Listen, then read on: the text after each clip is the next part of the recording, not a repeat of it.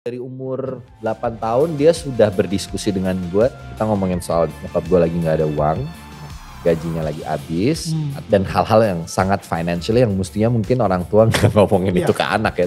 Gak pernah menerapkan kebencian. Papa kamu tuh gini, gini, Iya. gini. Gak pernah. Iya. Dia gak pernah sama sekali menjelekkan bokap. Dia hanya bilang bahwa ya pilihannya papa pergi meninggalkan Hmm. mama pada waktu itu. Um, I have no reason juga to be honest. Tapi ya itu pilihannya dia, mama hormati aja. Iya jadi dia udah sempat berusaha bekerja, dia sempat bawa gua ke beberapa PH, gua kasih iklan segala macam. Tapi habis itu dia secara jujur dan baik-baik dia bilang ke gua res maaf banget, mungkin jalan lo bukan di sini, lo Uh. bisa coba jalan yang lain. Kalau lo mau cari agensi lain silakan, tapi gue sendiri rasanya udah sulit sekali menjual lo ke mana-mana. I've tried my best. Hai, ini gue Daniel, tetangga kamu. So guys, sebelum lanjut nonton video ini, jangan lupa ya, like dan share ke teman-teman kalian. Tekan tombol subscribe-nya, nyalakan belnya atau loncengnya. Thanks guys. Hai, tetangga-tetangga gue yang gue sayangin. Apa kabar semuanya? Guys, this is so exciting. Kali ini gue didatengin sama salah satu bintangnya film Indonesia. Lu pasti tahu sih filmnya. Habibie Ainun, My Stupid Boss, Imperfect, dan masih banyak lagi. Dan namanya dia itu selalu masuk dalam daftar nominasi di Festival Film Indonesia. Dan sudah empat kali menang Piala Citra juga. Kali ini gue seneng banget karena untuk pertama kalinya dia setuju nih untuk kita semua mendengarkan cerita hidup dan struggle dia di balik layar yang biasa kita lihat. Hubungan spiritual dia dan pastinya juga hubungan dengan orang-orang yang paling disayang khususnya ibundanya tercinta. Oke, so it is such a huge honor karena sekarang ini sudah bergabung sama kita di Dana Tengah Kamu Reza Rahadian. What's up? Lo lo lo lo lo lo. Ribut aja, bikin ribut aja. Ini penonton-penonton boleh Halo loh. semuanya. Lu, gimana sih? Kita bayar kalian pakai nasi kotak gitu. Well, yeah, it's uh, again, it's truly an honor uh, for you to be here. Um, gue pengen banget ngobrol sama lu dari kapan-kapan, tapi thank God akhirnya nyampe ya sekarang nyampe, gitu ya. yes. Gue Dan- langsung keinget, oh iya gue punya utang sama Daniel. Kita ketemu di FFI kan padahal kan itu. FFI, Dan habis itu yang kayak gue kan yang ngomong, Dan- gue gak pernah diundang di acara lo. Gue bilang, Makanya ternyata lu emang nontonin ya dari nonton, kamu ya. gue nonton Daniel tetangga kamu. Thank you so much lo. Iya, thank you so much. I'm one Untuk seseorang itu yang uh, pencitraannya tidak memiliki sosial media, gue pikir lu nggak nggak aktif di sosial media juga. Ternyata YouTube is an exception. ya. Ya, gue suka banget soal nonton-nonton macem-macem di YouTube. So, you know, um, the funny thing about Reza Rahadian ya, gue sebenarnya kita pernah terlibat dalam sebuah Project, oh ya, I Love You Boss. Salah I satunya. love you boss. Tolong diingat judulnya. Orang inget gayain. Orang lebih ingat My Stupid Boss. I love you tuh apa coba. Jadi dulu itu gue pernah jadi kayak, um, itu adaptasi dari Korea by the way ya. Iya, iya, iya. iya. Yoi. Iya, iya, iya. Dan gue pernah jadi bos-bos gitu yang pemarah dan lain-lain. Dan habis itu um, ada kayak mbaknya gue. Iya. itu Cika ya? eh, Cika, Cika Cika, Jessica Jessica. kan? Yes. heeh. dia jatuh cinta sama bosnya dan gue jatuh cinta lagi sama dia. Iya. Dan bro, lu tau gak sejak saat itu ya, gue ngerasa acting gue biarpun sebenarnya nggak sekeren lu, tapi bro, tapi bro, pas gue lagi main I Love You Boss itu banyak banget kayak mbak-mbak babysitter gitu yang ngedip-ngedipin gue gitu tau Wow. Iya, jadi asli mereka yang kayak kayaknya gue ada harapan deh. Di sinetronnya dia kayaknya oke sama mbaknya gitu kan ya berarti harusnya di kehidupan nyata mungkin dia juga mau nih sama gue Iya. kayak gitu. Itu kekuatan Korea kan. Eh, itu ke- eh, kekuatan acting ya. But actually dari zaman itu, dari zaman sinetron itu, biarpun saat itu kita main sama Karisa Putri, Ada sama, Karissa Putri, yes, sama Okan Cornelius, Okan Cornelius. uh, sama Cika Jessica juga. Right. Tapi for some reason, for some strange reason, gue gue paling suka actingnya lo. For, Oh you know. I don't know if I ever told you this, tapi maksudnya kayak di even di set aja gue suka ngomongin lu gitu di belakang lu mungkin ya. Atau Oh, sama sama Joe gitu misalnya. Ya, ya. Gila itu yang Reza tuh I wish gue punya acting seperti dia. Wow. Gue lupa film yang tsunami di Aceh sama Nirina Zubir deh kayaknya. Falan Salat Delisa. Yes. Hmm. Gua nonton lu di situ ada satu momen di mana lo balik dan lo kehilangan semuanya dan Ya. lo nangis. Hmm. Em, biasanya aktor aktor itu nangisnya itu akan lebay. Sangat lebay gitu kan biasanya gitu. Gila men, maksudnya kayak keluarga lo tiba-tiba eh, you know meninggal, hilang Iya. semuanya. Lu bener-bener tapi lu di situ gila.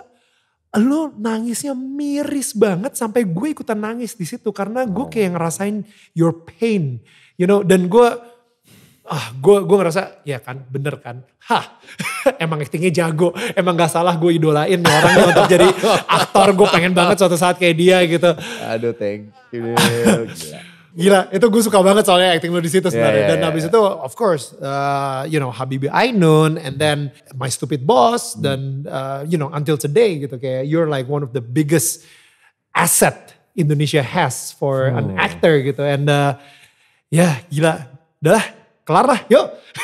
Kita ngomongin apa sih hari ini? Kok gue gue jadi ini fanboying parah gitu. Kayak ketangkep gitu gue kayak you know. Bro let's Yes. talk about your origin story. Okay, Yes, okay. let's talk about your origin story. Uh, can you tell me about yourself um, you know masa kecil lo uh, you know 6 bulan Mm-hmm. Ya. uh, bokap lu meninggal kalau Ya, nggak salah kan ya. lo, lo masih umur 6 bulan saat itu um, yeah tell tell tell me tell me a little bit about your childhood Oke. gue tuh dibesarkan di keluarga yang menurut gue lengkap dalam tanda kutip ya Nil. oke Karena menurut gue nyokap gue tuh berperan dengan sangat luar biasa baik sebagai seorang ibu Oke. slash sebagai seorang ayah gitu dalam Hmm. mendidik gue. Uh, dibesarkan oleh ibu tunggal. Mhm.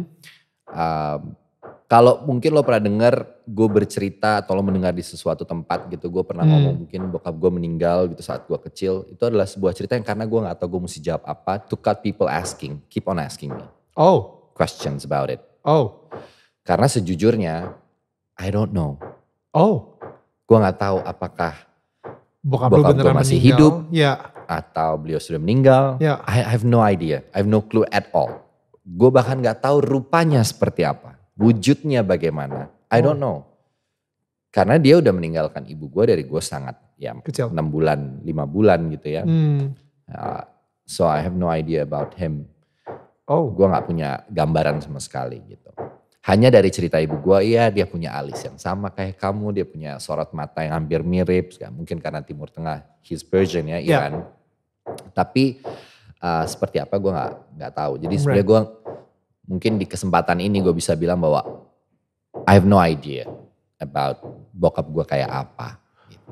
wow Dan menurut gue dibesarkan oleh ibu seorang ibu tunggal gitu ya single parent itu menurut gue hmm, memberikan satu apa ya gue bisa bilang kayak pendidikan yang luar biasa tentang rasa empati perjuangan karena gue ngelihat itu semua di nyokap gue complete ya dia tuh single fighter yang Ya. gila banget gitu Ya. dia berjuang buat anaknya dua ya dengan peristiwa yang sama ya Nil dua-duanya ini yang kedua berarti Gagal juga. gagal juga dan ngilang juga bokapnya Yes gitu. Oh, wow. Dua kali ini peristiwa yang sama dalam hidupnya. Jadi Ya. menurut gue dia she's a very strong and powerful woman. Dan tidak pernah merasa dirinya susah ataupun sedih-sedihan. ya Karena menurut dia ya itu pengalaman hidup yang udah Tuhan kasih buat dia. Harus Ya. dia lewatin. Um, dan sebagai seorang Nasrani nyokap gue ya semua kembalikan ke Tuhan. Dia percaya bahwa itu rencana Tuhan udah jauh lebih baik dari apa pun lah gitu. Wow. Dan waktu, sorry, berarti lu sebenarnya waktu kecil pun udah tahu kalau misalnya bokap eh, meninggalkan aja gitu. Iya, Jadi dari kecil bukan, nyokap gue tuh dari umur 8 tahun dia sudah berdiskusi dengan gue as if I'm like 13, 15. wow, oke. We talk about stuff, real stuff. Ya, We talk about having no money. hmm, Kita ngomongin soal nyokap gue lagi gak ada uang, gila. gajinya lagi habis. Hmm. Atau kita ngomongin tentang uang jajan kamu aman apa tidak. Dan Hmm. hal-hal yang sangat financial yang mestinya mungkin orang tua nggak ngomongin Iya, itu ke anak ya. ke Tapi anak karena kita 8 tahun. cuman berdua, Ya, So she's very open about everything. Wow. Gitu. Dan dia selalu bilang bahwa ya nggak pernah menerapkan kebencian, hmm, papa kamu tuh gini gini Ya. gini nggak pernah. Ya. Dia nggak pernah sama sekali menjelekkan bokap gitu. Dia hanya bilang bahwa ya pilihannya papa pergi meninggalkan Hmm. mama pada waktu itu. Um, I have no reason juga to be honest. Tapi ya itu pilihannya dia. Mama hormati aja. Udah. Hanya itu yang dari kecil gue tahu Nil. Oh my goodness. Jadi nyokap gue hanya menghormati pilihan bokap gue Hmm. untuk meninggalkan dia. So there is no hate. Nggak ada kebencian sama sekali. Dia nggak ngerasa sebagai korban. Like, you know, some people Iya. di itu self victim ya. Kayak Iya. misalnya, tahu gak sih kalau misalnya aja papa kamu di sini, dia bla bla bla bla. Ya, you know ya, what I mean? Like, ya, uh, ya. tapi dia benar-benar Nggak kayak, yep, udah, this is the reality. Ini Ya, adalah realitanya. Ya. Um, gua gagal nikah atau gagal um, menjadi seorang istri dua kali dan sekarang udah apa yang ada di depan gua, apa yang udah di- dititipkan sama Tuhan, Yes. gue langsung kerjain Gue my kerjain, best. gue rawat, gue besarkan sebaik mungkin yang gue bisa. Itu nyokap gue. Dia nggak pernah victimize dirinya sendiri. Bahwa dia adalah victim. Dia Hmm. korban, dia ini. Gak pernah ada kata-kata itu. Sama sekali. Until today. Di saat gue udah dewasa dan gue mengajak dia berbicara. Karena gue sangat hati-hati menyinggung masalah itu. Jadi gue Hmm. ajak bicara pelan-pelan. Karena usia gue juga waktu itu udah lebih dewasa. Hmm. Dia terbuka seterbuka-terbukanya. Kalau yang David, adik gue, Hmm. pengalaman hidupnya, pengalaman nyokap gue, ya tentu gue tahu ceritanya bagaimana gitu ya. Hmm. Jadi gue melihat dengan Beda lu sama kepala. David berapa tahun? 13 tahun. Oke, oke. I was Ya. grown up lah, udah Ya. udah lebih dewasa gitu. Jadi gue Hmm. bisa tahu. Makanya mungkin di keluarga gue, gue termasuk yang dibilangnya tuh old soul. Hmm, ya. Waktu gue kecil, Ya. dibilangnya tuh ketuk gitu kayaknya gitu karena Tuhan lebih cepat pada waktunya gitu kan. lebih tua, lebih cepat daripada waktu. Tapi ya mungkin itu karena pengalaman hidup juga kali ya. Hmm. So what is the impact other than selain dari lu jadi ketuaan lebih cepat pada Ya. waktunya gitu ya. Lu eh, kayak you know gue ngeliat even ini kebawa di acting lu juga karena semua emosi yang lu lewatin pada masa kecil lu sampai hari ini gitu ya. Kayaknya lu jago untuk nyimpen itu gitu. Mhm. Um, is is that true? Is that something yang Ya, ya of course. Hmm. Uh, buat gue sih emosi dan pengalaman hidup tuh kekayaan aktor sebenarnya. Ya. Karena ketika si aktor itu bisa menyimpan itu dengan baik dan membuka keran itu kapan pun dibutuhkan, Ya. itu benefitnya sih bagus-bagus saja sebenarnya. Hmm. gitu. Selama bisa dikelola dengan baik. Nah, gue ngerasa bahwa impact yang terbesar yang gue rasain adalah mungkin gue bisa bilang gue punya fighting spirit yang gede banget tuh dari nyokap gue Hmm. rasa daya juangnya tinggi, Ya. rasa untuk tidak self blaming, Hmm. tidak menyalahkan pihak lain Ya. atas keterpurukan yang mungkin sedang menimpa Hmm. atau menyalahkan apa pun. Ya, ya. Itu gue belajar banyak dari nyokap gue dan dari pengalaman hidup yang kita punya berdua Hmm. sebelum adanya adik gue dan kemudian setelah adik gue lahir juga pengalaman hidup kita ternyata kita punya Wow. challenge yang lebih gede lagi gitu. Wow. Karena back then adik gue lahir nggak lama nyokap gue kehilangan pekerjaannya terus tiba-tiba gue di anak umur 15 tahun gitu gue harus kayak "Ah, Jadi tulang punggung, punggung keluarga. Iya itu kayak Ya. sesuatu yang "Hah, oh, what am I supposed to do gitu kayak gue Ya, what did you do? bingung gitu. What did you do? ya macem-macem lah Iya. waktu itu sih macem-macem ya jualan karpet kayak apa kayak apa aja lah gue keliling-keliling. Anything yang bisa earning money I'll do it. Ngajar termasuk di salah satunya. Oh. gue ngajar bahasa Inggris untuk anak kelas 3 SD 2 SD gitu. Um, temen nyokap gue kebetulan juga dapat saku tambahan. Gue kerja di cafe as a waiter di Jalan Tirtayasa. Wow. Eh, namanya Shaker kafenya mungkin kalau yang masih sering main ingat. Nah, as a waiter gitu. So yeah, I'll do anything. Yeah, yeah, of course. You you don't have any idea. Lo sekolah juga belum tamat. Iya. Gue apa apa aja lah yang bisa gue kerjain gue kerjain. At least I have something to buy for Right. to put food on the table. Jadi lu yang bener-bener kayak berjuang untuk nyokap lu dan adik lu juga ya saat itu ya? Ya. Oke. Ya, ya, Dan itu s- terus sampai hari ini? Alhamdulillah sampai hari ini gue masih bisa um, support lah ya, Iya. membantu support gitu Iya. untuk keluarga gue ya sampai hari ini. Adik gue udah kuliah sekarang, Iya, iya. udah kuliah, nyokap gue Dan sudah- kuliahnya gak tanggung-tanggung lagi di SF ya sekarang ya? Dia sekarang di Boston. Di Boston? Mm-mm. Dari dari SF? Iya, setahun di SF terus sekarang tahun keduanya di Boston. Um, ya, Wow. ya begitulah. Wow, no that's that's crazy. Dan itu menurut gue uh, keren banget sih dari lu yang umur 15 tahun, lu sendiri akhirnya kayaknya kena sih si karakter nyokap lu yang kayak oke okay, ini kenyataannya, ini realitanya. Banget. Gue nggak akan jadi korban di sini, tapi Ya. gue justru akan uh, seseorang yang I will take control of the situation Yes. dan let's do what we can do. Betul. Jadi uh, oh gue bisa bahasa Inggris, gue jadi guru les Inggris lah. Ya iyalah, bisa nih kayaknya nih kalau untuk kelas 2 SD gitu ya masih materinya gue masih kuasain. Lebih dari itu mungkin enggak. iya. Budi pergi ke pasar masih bisa Masih lah. gitu. bisa kayaknya gitu, heeh, boleh lah gitu. Oke, dan lu akhirnya masuk ke entertainment tuh gimana? Lu kan eh, di Aneka ya sempet ya? Aneka, Itu yes. umur umur berapa tuh? If I'm not mistaken, I was 16, iya 16 tahun. 16 tahun tuh. 16 Jadi tahun. benar-benar lu ngelakuin semuanya jadi Iya. jadi model Aneka Yes ya. Hayu Oke. deh gitu ya. Iya, Jadi iya. gue 16 tahun. Um, Jadi harus Yes. harus eh, ketawa senyum lima jari. Yes. Tiga jari. Senyum Harus. ala aneka. Um, udah gitu ikut aneka yes Ya. 2004. Sebelum itu gue gagal jadi perenang karena nggak lolos di platnasnya. Hmm. Platdannya gue masih bisa. Mau jadi pilot juga kayaknya waktu itu sekolah pilot quite expensive gitu. Hmm. Akhirnya jadi aktor. Hmm. Waktu gue ikutan aneka yes, I have no idea. Hmm. Yang ada di kepala gue adalah gue suka acting, baru suka Hmm. aja. Dan sepertinya waktu itu dapat infonya Aneka Yes adalah wadah yang tepat kalau lo mau cari agent atau manager Ya. atau ya anything lah gitu Ya. untuk dapetin informasi casting. Ya, Jadi Ya. gue taunya Ya. itu aja gitu. Pernah akhirnya ada manajer yang represent. Ada waktu itu sempat Oke. tapi cabut dia sekarang menurut dia tidak bisa dijual jadi dia cabut. What? bentar, bentar. Jadi manajernya ini nggak bisa ngejualin lo. Iya, jadi dia udah sempat berusaha Oke. bekerja, dia sempat bawa gua ke beberapa PH, gua kasih iklan segala macam. Tapi habis itu dia secara jujur dan baik-baik dia bilang ke gua, "Res, maaf banget.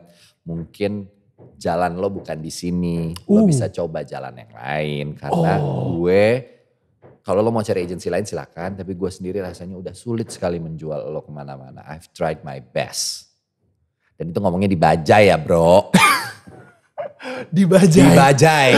Bayangin itu ngomongnya di Bajai. Jadi gue turun dari Bajai itu dalam keadaan. Hah oke. Gue nggak Mungkin laku, Saya, harus, iya. saya tidak laku. Saya balik lagi jadi guru les Inggris. Oh, Dan gue harus jadi guru ya gitu. Oke, jadi manajer lu pas lagi di Bajai itu dia ngomong apa ke lu? Ya reasonnya dong abis itu. Oke. Gue tadi kan halus ya. gue tidak membicarakan alasan lebih jauh. Udah almarhum orangnya soal. Oke. Uh, tapi with all the respect ya dia sampaikan gitu. Kamu tuh udah banyak komplain soal jerawatan, Hmm. fisiknya kurang tinggi. Hmm. Jadi semuanya tentang fisik. Dan sebagai seseorang yang gue juga nggak mungkin ke dokter kulit pada masa itu orang gue mau cari duit, Naik Bajai pula iya gitu kan. kan, terus Ha. mesti ke dokter kulit itu kan another Ya. du- uang gitu Iya. ya. Jadi gue pikir, ah what am I supposed to do gitu. Karena ya kamu Hmm. harus perawatan dulu, Hmm. kamu coba deh ke skin, eh, ke dokter, dokter kulit. Nanti pasti kamu dapat perawatan ini itu untuk bersihin muka kamu dan segala macam. Sementara nyokap gue, ya tapi ini kan umur kamu jadi ya udahlah namanya jerawatan gitu. Iya iya umur 16 gitu ya. Iyalah Ha. gitu ya udah gitu. Ya udah akhirnya gue pikir ya ah, ya udah gue ikutin apa yang dia bilang. Maksudnya gue terima keputusan itu, Ya. tapi habis itu ya gue tetap kekeh ya. Nah gue penasaran tuh karena gini. Your real calling. Maksudnya gue gue ngerasa ya. Seorang Reza Rahadian kalau misalnya saat itu mendengarkan dia. Dan lu bener-bener kayak ngerasa ya deh mungkin emang gue bukan tempatnya di sini. Ya. Mungkin gue mendingan ya udahlah gue udah puas lah menjadi model aneka yes. Ya. Senyum gue udah tiga jari ya. Cukup kali ya. Udah foto ya. udah udah. foto, udah sempat muncul di majalah gitu, udah lah ya. Gue mungkin bisa balik lagi aja menjadi penjual karpet lagi Iya, atau atau apa uh, gitu. jadi pelayan restoran lagi atau mungkin uh, jadi guru les lagi gitu. Ya mungkin emang entertainment itu bukan untuk gue.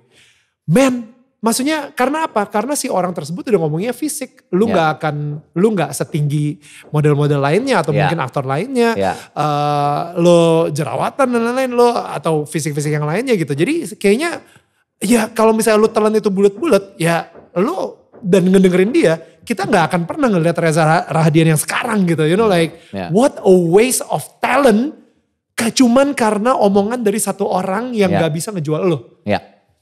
Mungkin cara jual dia salah, mungkin Mungkin. mungkin, dia nggak pede ngejualin lo saat itu, Ya. I don't know. Tapi Ya. maksudnya you know, oh my goodness, Iya like sih. it it hampir gitu. Iya. So what what did you do? Apa? Karena gue gue pengen ini mungkin ada juga nih seseorang yang barusan aja dibilang sama eh, yang lagi nonton gitu ya. Ya, Dia baru ya dibilang sama seseorang juga kalau misalnya forget your dream.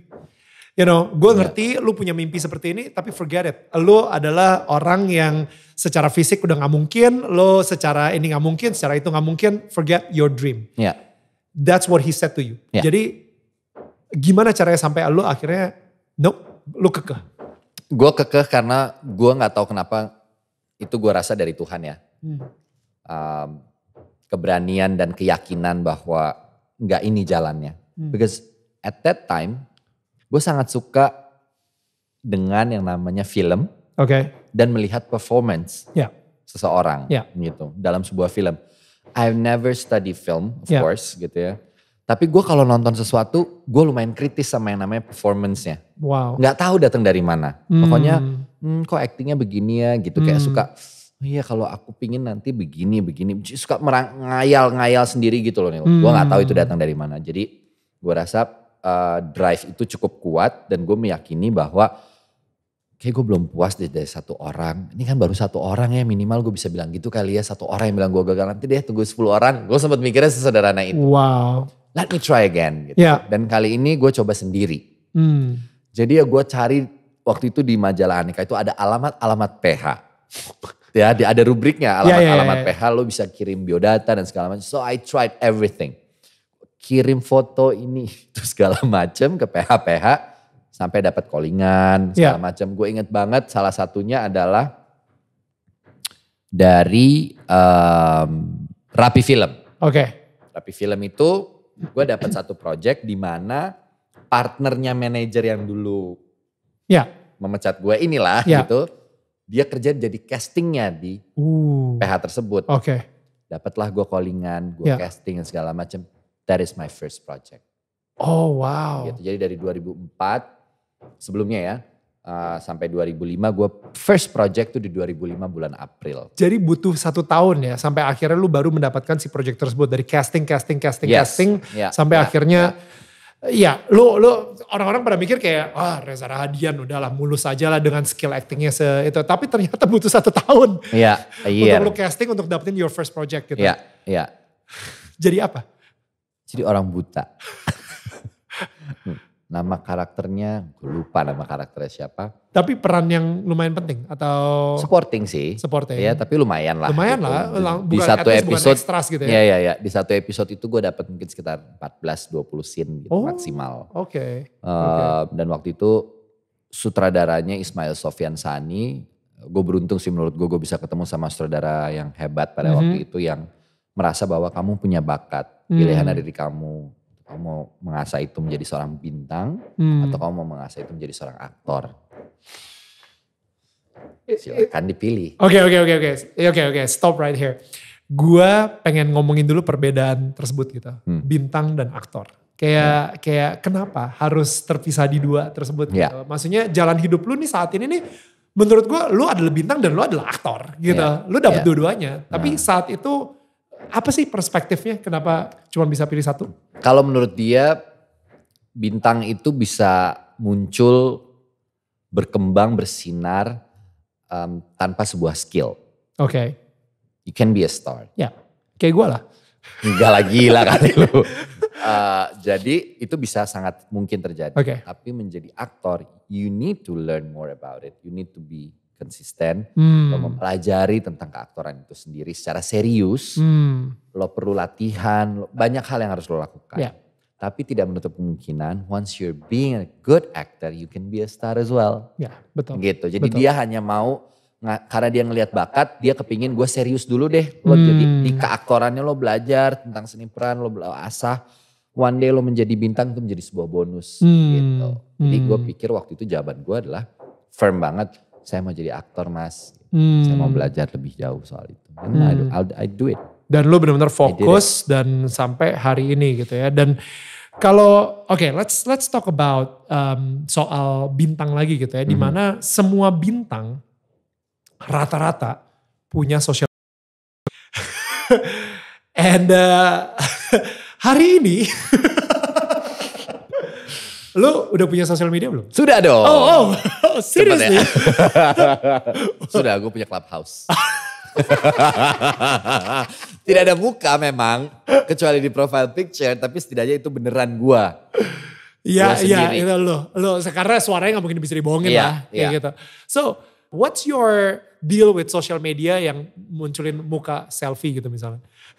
Gue baru sadar belakangan ini sebenarnya Neil, bahwa gue tumbuh, gue dikenal di era di mana sosial media belum terlalu Ya. besar. Hmm, Sehingga ada kecenderungan bahwa I don't think I really need that kind of platform. right. Dan gue gak menemukan interest.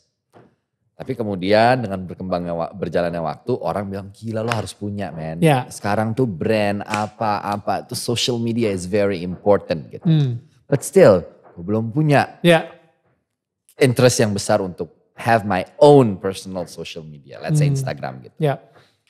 Ya dan I think I I feel more peaceful Oke. semakin ke sini melihat perkembangan sosial media ada yang positif, Ya. ya, tapi kan ada yang negatif juga gitu. Tapi gue merasa kayak to have a distance, Hmm, a certain distance dengan dunia itu, gue merasa juga I feel more, you know, like peaceful aja sih sebenarnya.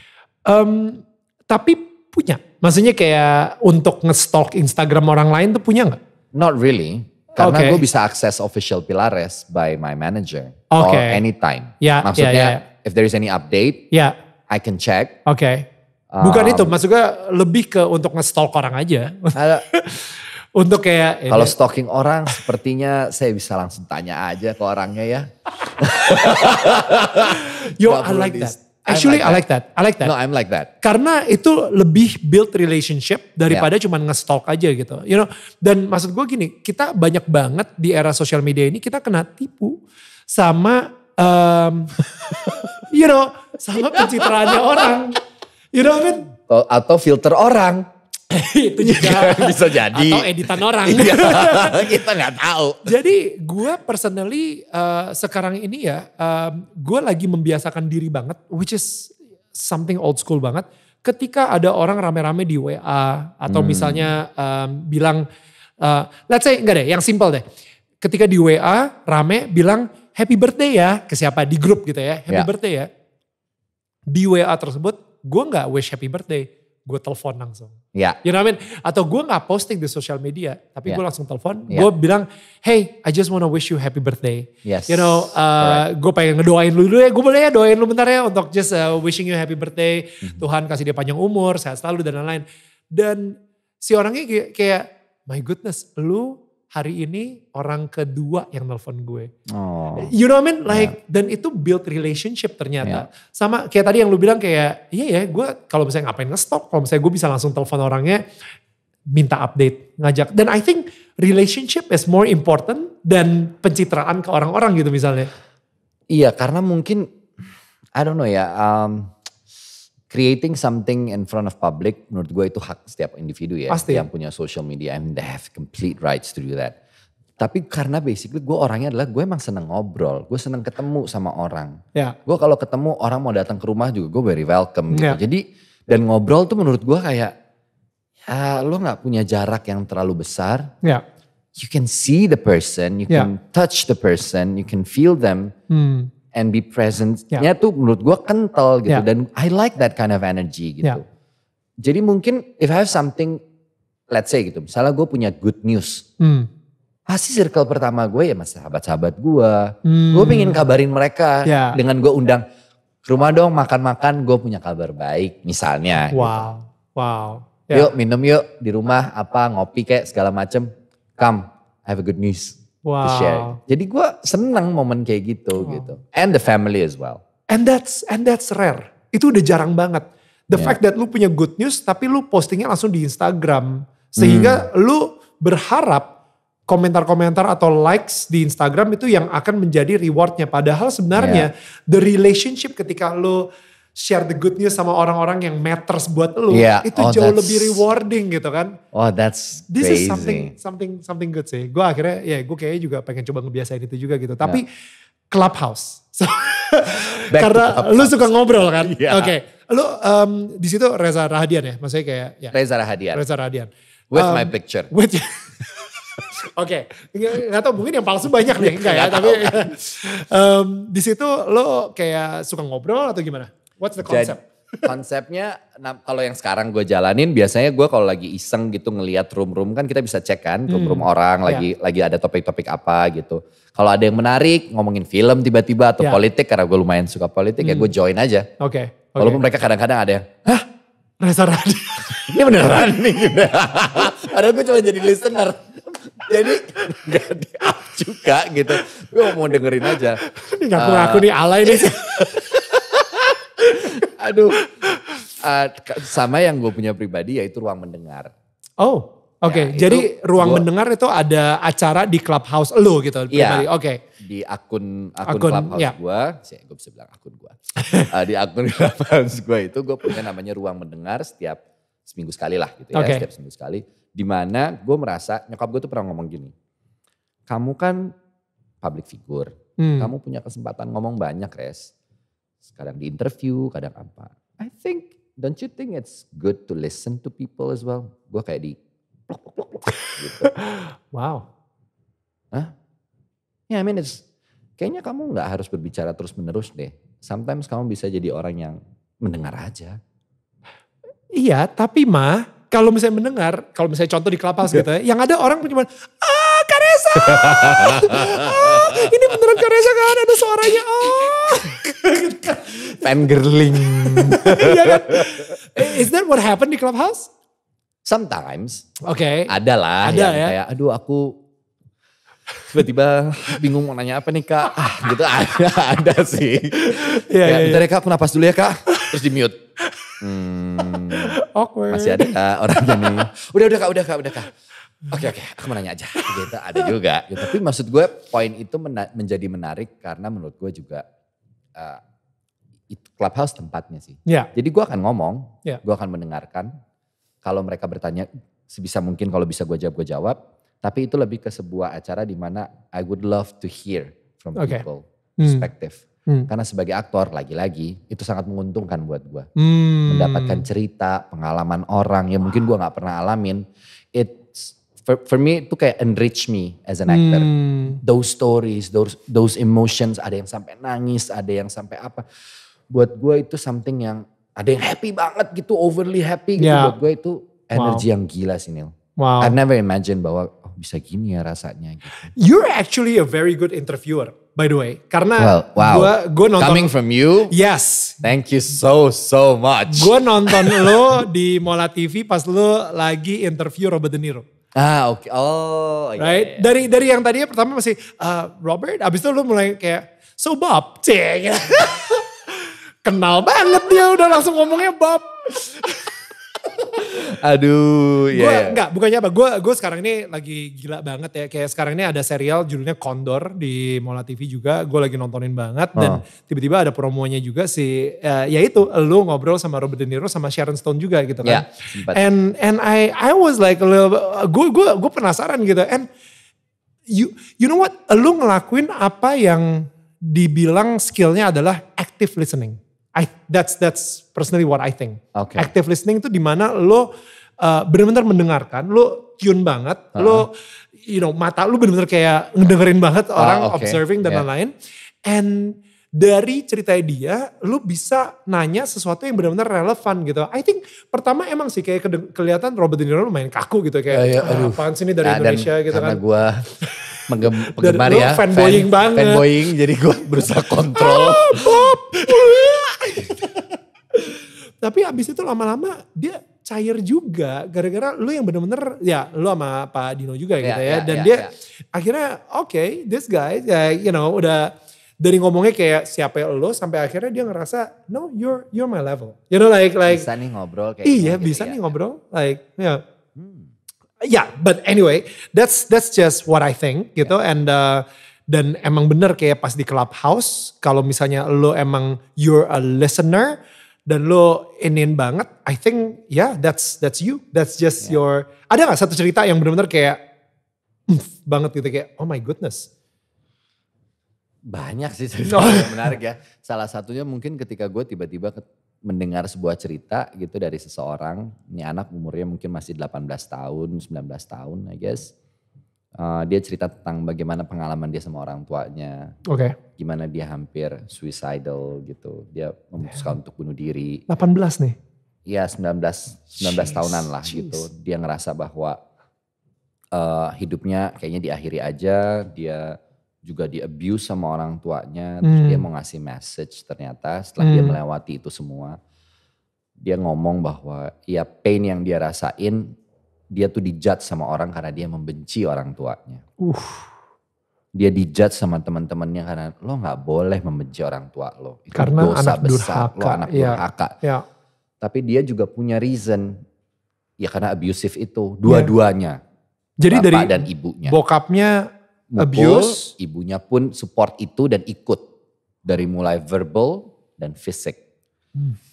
Jadi dia memang se Hmm. segitunya lah.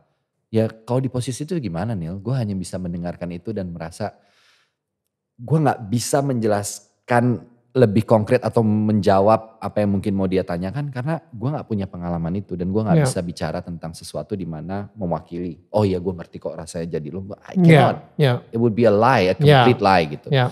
Jadi ya gue gua hanya mencoba mendengarkan aja. Dan dia senang banget karena dia punya tempat untuk bisa bercerita. Dan dia mau bagiin itu ke teman-teman yang lain yang mungkin seumuran sama dia yang ada di clubhouse itu. Ya. Yang audiensnya. Ya. Hanya untuk bilang kalau lo mendapatkan perlakuan seperti gue. Jangan takut sama judgement orang. Hmm.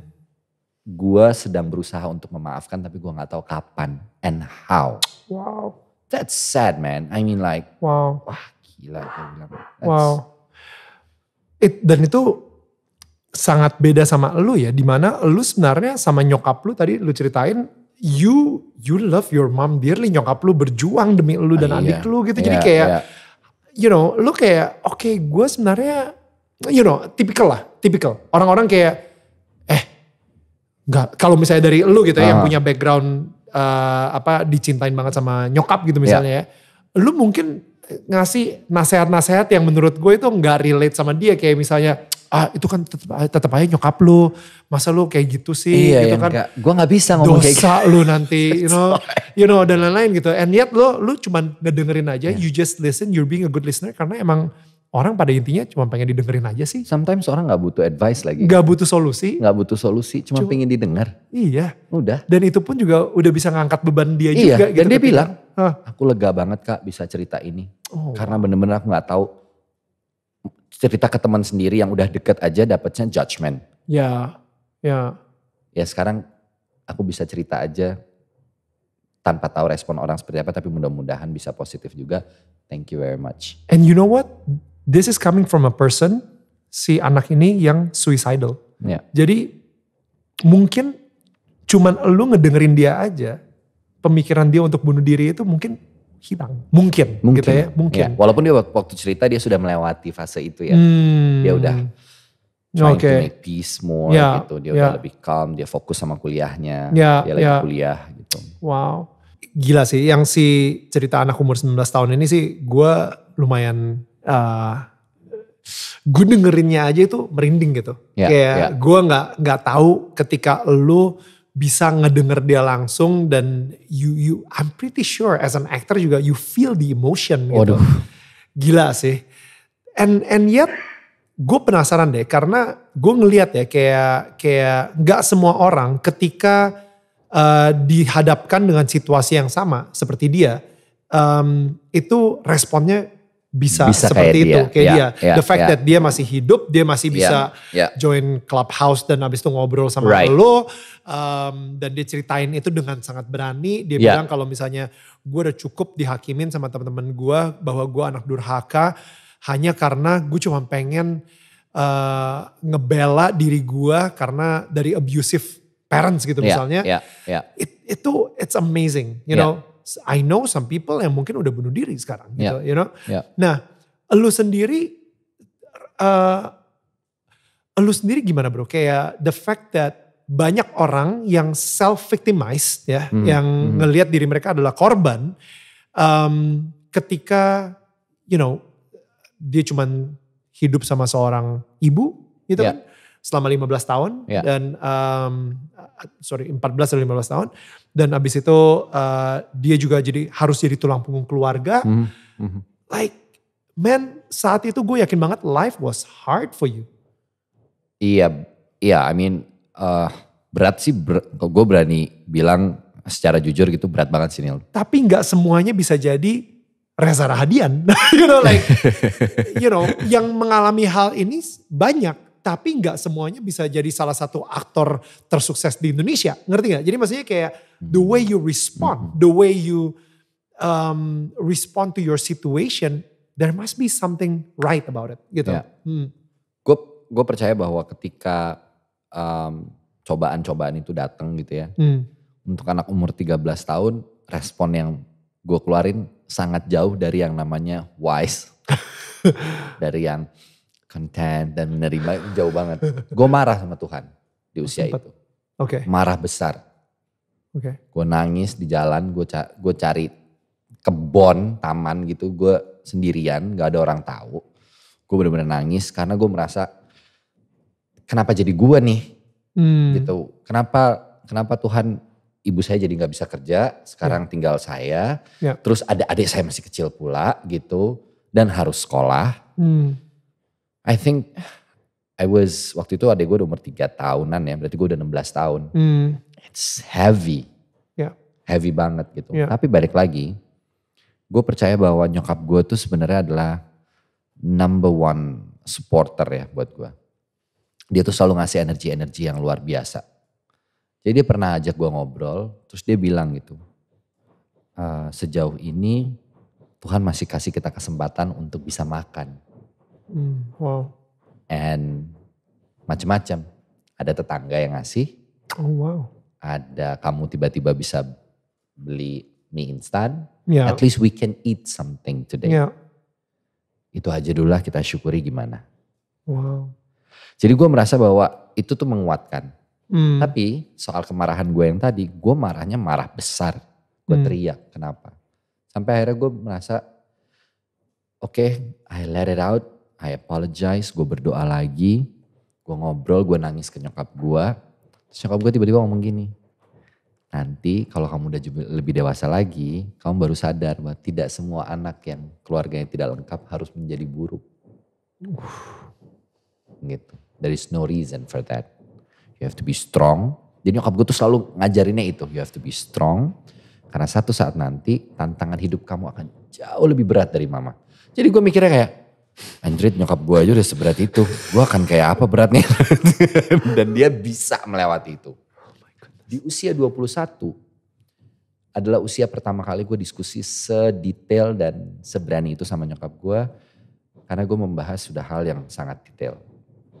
Tentang perannya sebagai seorang ibu. Dan bagaimana dia bisa kuat. Dan itu ternyata memacu gue untuk I have to survive. I have to be a strong person juga. Karena gila lo nyokap gue, gue baru ngerti. Jadi perempuan punya anak dua tanpa laki-laki sebagai pendamping. That's hard man. Hmm. Hmm. Jadi gue cuma bisa bangga sama nyokap gue gitu kayak wah Hmm. gila. If you can get through this, I'm sure um, I can get through whatever I Hmm. face in my life gitu sih. Em, nggak tadi yang kata-kata nyokap lu bilang bener banget nggak semua keluarga yang tidak lengkap harus berakhir buruk Ya. gitu. Tapi kita juga kita juga tahu cerita-cerita yang majority majority em, banyak yang keluarga tidak lengkap dan mungkin ada yang self victimize gitu. Ya. Nggak nggak semua keluarga beruntung punya nyokap seperti nyokap lo. Ya I nggak sih? so. Yang sangat sih, kuat, I'm yang very lucky. Tuhan tuh benar-benar kayak sayang banget sama kalian berdua, lu sama Iya. adik lu, Iya. sampai nyokap lu dikasih kekuatan Wah. seperti itu untuk benar-benar, wow, itu kayak hadiah terbesar dari Tuhan buat lu adalah nyokap lu sih, Iya.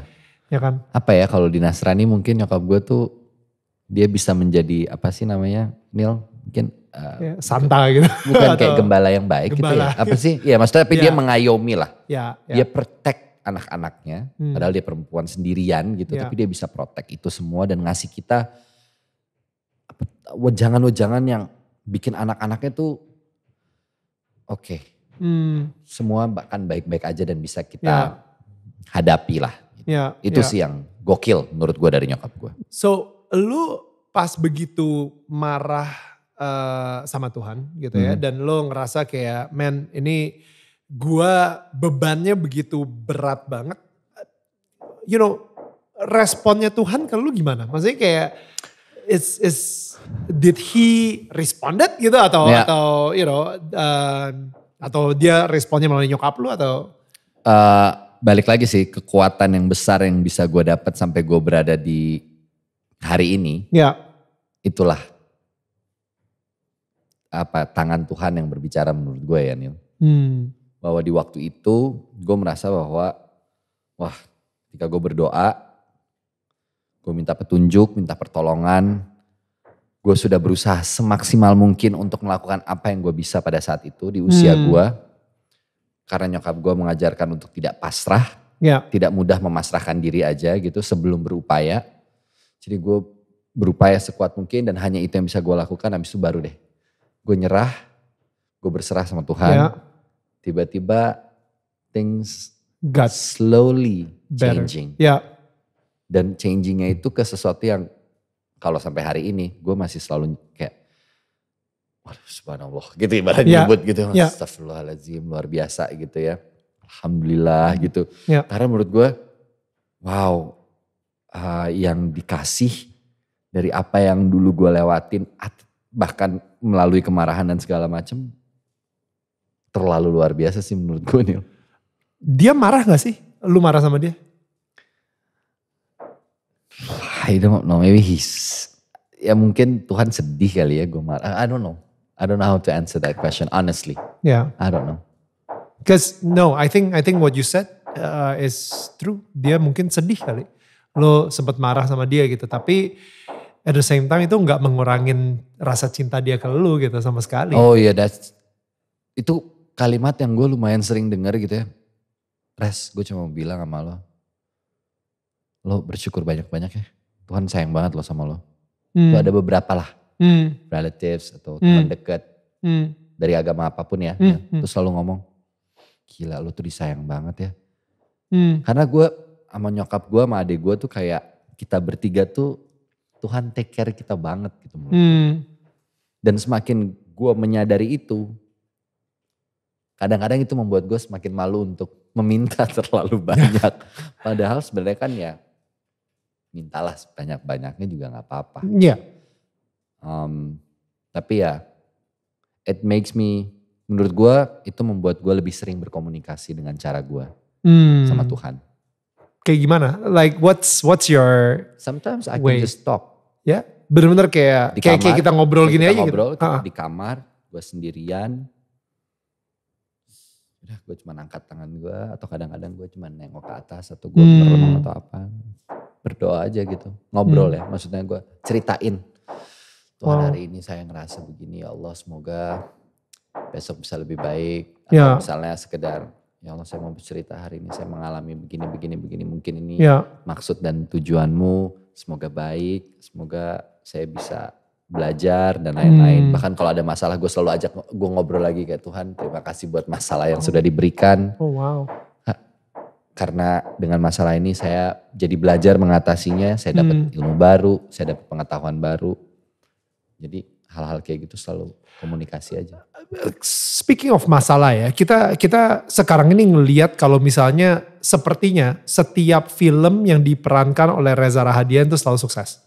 Kayak ada ada you know um, tangan emasnya lah atau uh, ya m- you know like uh, there's a benchmark or a standard gitu. Dan maksudnya orang-orang ngelihat kayak wah gila jadi Reza Rahadian ini kayaknya it's all about glamour. It's Yeah. all about you know fame and like ya tapi gue baru tahu sih kalau misalnya di belakang panggung tersebut sebenarnya itu nggak seindah yang orang bayangkan mungkin Ya, you know Ya. tell tell us a little bit about that di titik ini tuh gue mungkin tiga tahun, empat tahun yang lalu ya Nila. Itu salah satu momen yang lumayan memukul gue ketika ada sebuah film, film itu diprotes banyak orang, dikritik habis gitu.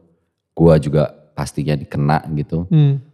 Uh, dan gue bisa menerima itu tapi gue juga lumayan terpukul karena seolah-olah semua ada di gue salahnya gitu. Hmm. Ternyata banyak pujian juga itu bisa berbahaya menurut gue. Maksudnya Dalam gimana? artian orang ngomong, wah Reza bagus actingnya, wah bagus. Gue sampai di sebuah titik, oh bagus aja jadi biasa ya sekarang.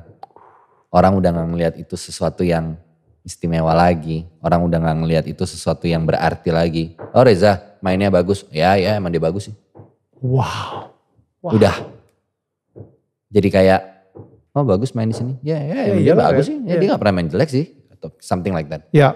Opini itu, gue pikir itu adalah sesuatu yang harus gue, oh alhamdulillah gitu. Hmm. Ya gue sih syukuri-syukur ya Neil, tapi sakit juga di dalam. Ya.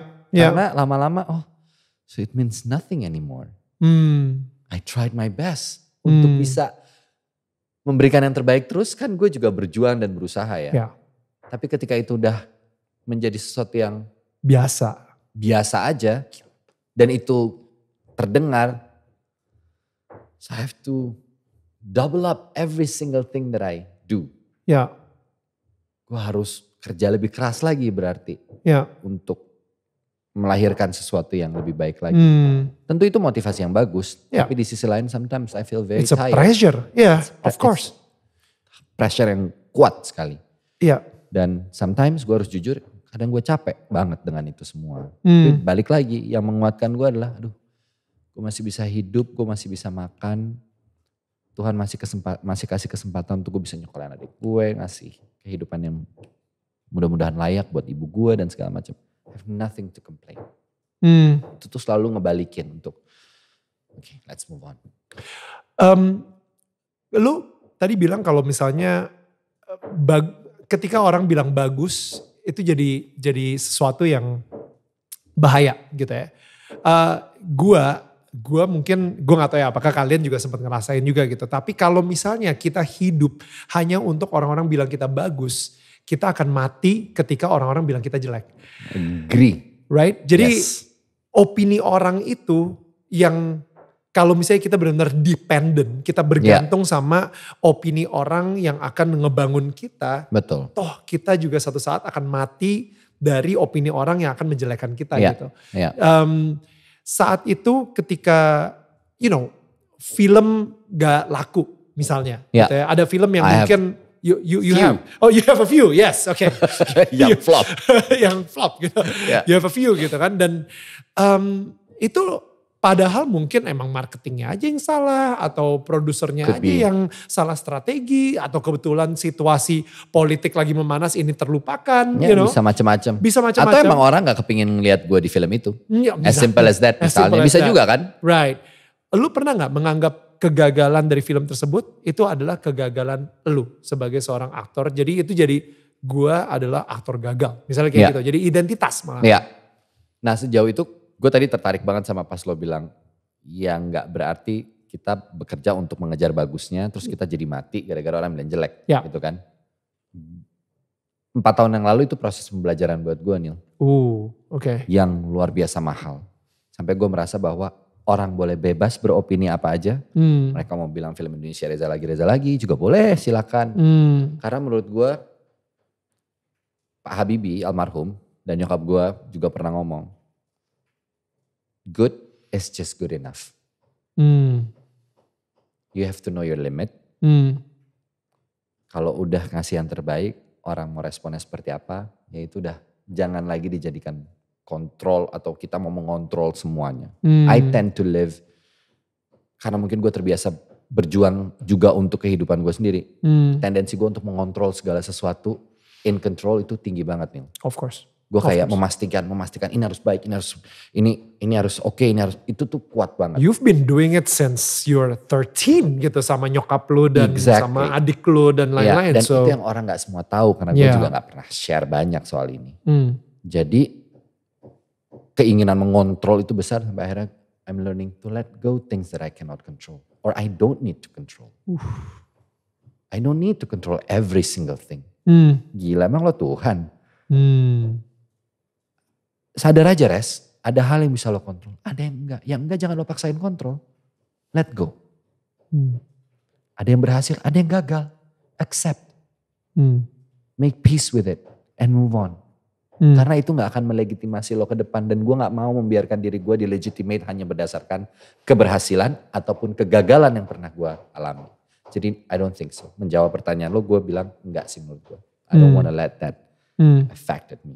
Ketika gue Hmm. gagal, apakah itu bisa mendefinisikan bahwa Ya. pergagal? Ya. No, I don't think so. Hmm. It's just ya udah, faktornya banyak, Ya. tapi juga tidak membuang untuk ah bukan salah gue. gitu. Ya. Itu jadi koreksi aja. Ya. Oh di mana ya? Evaluasi lah. Evaluasi. Jadi Hmm. justru itu membuat gue selalu mengevaluasi diri juga. I like that so much. Uh, ketika ada suatu hal yang gak bisa lu kontrol, lu let go, lu berserah sama yang di atas.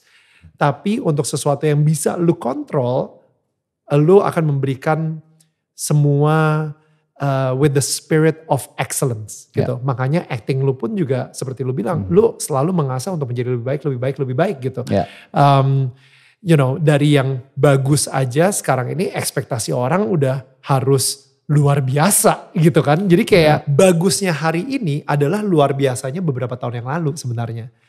Sejati. Iya gak sih? Iya, kayak iya, iya. kayak karena lu terus mengasah diri lu sendiri gitu. Jadi kayak um, gue selalu bilang sama diri gue sendiri kadang-kadang bukannya apa nih ya. Lu tahu dong, lu kalau misalnya pernah ngeliat film-film lu dulu gitu misalnya bahkan mungkin sinetron dulu gitu Iya, ya. iya, iya, iya, Ketika iya. lu nonton lu kayak oh. You know, kayak enak banget. Oh my god. Oh what, Ya. what was I thinking? Daniel Mananta, uh, sorry, VJ Daniel rambutnya kenapa harus kayak gitu ya dulu ya? Gitu. Ya. Terus gue dan atau enggak ketika gue lagi di interview gue ngomong oh ya bla bla bla bla bla kayak oh my goodness tapi itu sih ada satu uh, kalimat yang benar-benar kena banget sama gue jangan menghakimi um, masa lalu lo dengan kebijakan yang lu punya sekarang Betul. with the wisdom that you have Ya, now gitu ya. jadi maksudnya pada saat masa lalu tersebut lu ngerasa lu paling bijak ya udahlah it's okay it's Ya. part of the journey yang membuat diri lu sekarang ini siapa diri lu gitu you know like and But and you don't have to judge. But you don't past. have to judge your past Yeah. gitu. And dan lebih parahnya lagi kita juga jangan sampai ngejudge uh, masa lalu orang juga. Apalagi. based- exactly gitu. You know apalagi gitu. Yeah. Apakah lu Tuhan emangnya Iya, benar, bisa benar. mulai ngehakimin. So uh, dari akhirnya dari perjalanan hidup lu tadi itu ya. Selama empat tahun ini masuklah pandemi. And Yeah. I think pandemi itu affecting everybody especially actors you know, especially actors. Gue yakin lu juga udah punya beberapa uh, project film yang di tahun 2020 yang akhirnya harus ketahan gitu Ya. kan. How did that impact you? Ini lagi-lagi ya, ini ucapan syukur gue aja sih. Oke. Gue merasa bahwa di pandemi adalah salah satu momentum di mana gue bisa bilang, oh ternyata gue bisa berbuat sesuatu yang selama ini gak pernah kebayang gue akan lakukan. Hmm. Which creating my own series, Hmm. trying to sell it, Wah. me acting on it Iya. and directing. ya, ya, ya, ya. Berharap moga-moga ada yang mau beli ini udah sebulan gak kerja gitu kan ya. Jadi, um, tapi itu muncul di tengah Pandemi. pandemi. Hmm. Dan kita waktu preskon, ini project pertama yang preskon. Oh wow. Belum ada project lain Ya, yang syuting. ya, Walaupun kita syuting cuma bertujuh. ya, Gini nih. ya. Jadi balik lagi, di selama pandemi pelajaran terbesar, gue banyak kontemplasi. Hmm. Gue banyak berpikir tentang apa sih yang tujuan hidup gue. Hmm. Sebagai seorang aktor gue mau ngapain sih Hmm. sebenarnya. Sekarang ini gue bisa jawab, I wish and I want to do a better thing tentunya. But I want to simplify my life. Hmm. I want to try to live balance. Hmm. Dan juga gak terlalu ambisius Ya. untuk mengejar sesuatu. Tone down and relax. Hmm. Itu pelajaran berharga yang gue dapat selama pandemi. Wow. I learned that a lot Hmm. di 2020 khusus. To slow down. Slow ya. down, take a rest, Hmm. kontemplasi, reflect. Hmm. What do you want to do? Hmm. Next. Tapi Hmm. dari situ justru gue ya Tuhan kasih kesempatan I'm quite productive Ya, di masa pandemi kemarin. thank God. Project banyak yang ketunda, but new project. Hmm. Orang tiba-tiba Hmm. datang bikin ini, bikin itu, series Wow. kayak apa segala macam. So again, Ya gue cuma bisa bersyukur aja sih. You know, gue ngerasa pandemi itu bikin kita semua beristirahat sih. Slow down. Sangat. And I think Ya, yeah. we need that. exactly. Exactly. Kalau misalnya bukan kita yang memutuskan untuk beristirahat, alam Akan. yang akan mengistirahatkan kita. oh gini semua. Oke Eh, deh. Oke. ya. Gue yang bikin lo istirahat sekarang. exactly.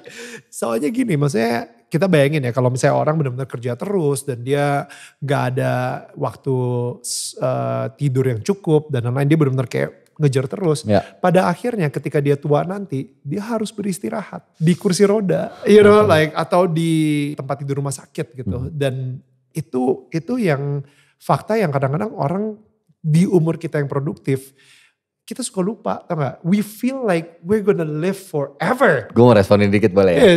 Gue kemarin baru baca buku. Buku ini menurut gue menarik banget. Dia berbicara tentang how to slow down in a busy world. Judulnya? Um, itu judulnya. Oh, Ah, itu judul, sorry.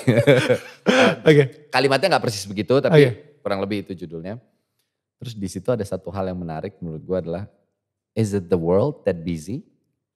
Or is it your mind that busy? Uh, yes. Gue pas baca itu, gue kayak, oh iya sih kita selalu sibuk. Ya. Dengan pikiran kita sendiri, dengan mengolah itu, merasa bahwa kalau hal ini terjadi nanti akan apa yang terjadi. Kita selalu merasa, wah ya saya harus prepare dengan ini, itu dan segala macam. Nah kita lupa untuk Ya. sebenarnya bisa rehat dulu sejenak.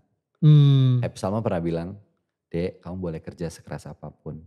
Tapi jangan lupa nikmatin dong apa yang udah kamu kerjakan. Nikmatin tuh maksudnya nafas, spend time with families. hmm, Dan itu yang gue lakukan kemarin. Dan gue merasa, iya ya, gue kerja terus ngejar duit. Yang hmm, mahal waktu. Hmm, Bukan, bukan ngejar uang aja, tapi Ya. waktu mahal banget nih. that's good. Waktu that I spend with my mom, Ya. with my best friend, Hmm, my brother, people that I love. Ya. Menurut gue itu penting banget ternyata. Ya.